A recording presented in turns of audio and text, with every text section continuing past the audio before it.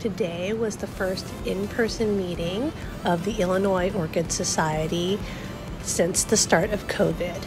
It was at the Chicago Botanic Gardens, and following is the orchids that I saw in the greenhouses and on the Illinois Orchid Society show table.